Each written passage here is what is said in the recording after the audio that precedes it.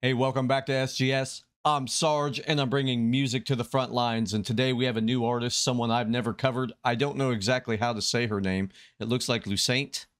I could be saying that completely wrong, and I'm sorry if I am. Again, new artist. I love Wicked Game from Chris Isaak, so I wanted to hear this version of hers, and uh, wanted to bring awareness uh, to who she is. Obviously, she's uh, pretty big. It's like 2.3 million uh, views on this already and it's like a year old.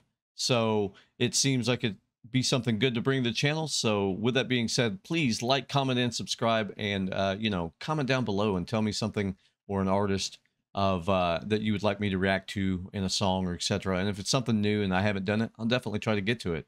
All right. With that being said, let's jump into it.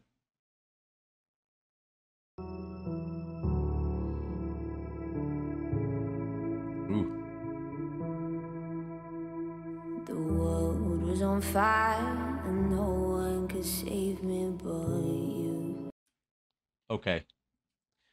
That that's it right there. She's got a hugely unique voice. Beautiful so far. I mean, I know we just got into it, but wow, wasn't expecting that. I was expect I think I was expecting her to be much higher. All right. It's strange what desire can make foolish people do. I never dreamed that I'd meet somebody like you. And I never dreamed that I'd lose somebody like you. So guys, please educate me on her. Um the higher part that she just was doing, I guess I thought she would come in there in the beginning. Uh, she had much lower range than I was expecting. I mean, obviously, I'm just making an assumption here. Um, but yeah, tell me where she's from, what she does. I mean, obviously, I know I can go look, but if you're a fan and you want to share the knowledge, please do so. Um, so far, I'm loving it. I hate to keep interrupting it, but kind of have to. And then number two is I'm just blown away already.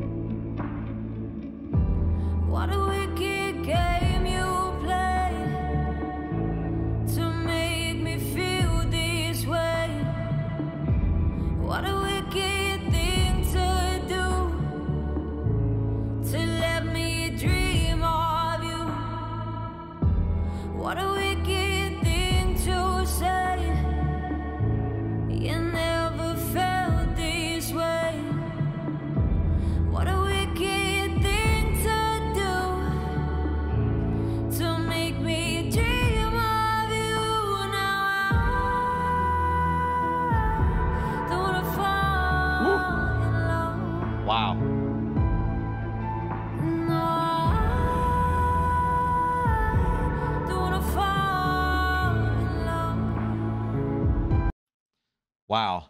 This is like this is awesome. You can hear like the strings and things go on in the background of the instruments and then she has a uh, don't know which words exactly, but like there's an echo of it that carries on and it's like a ghostly kind of you know, oh, you know, and it just kind of goes on with it and it, it it makes it sound really ominous, etc., but in dark, which I love, but uh, at the same time it's so unique.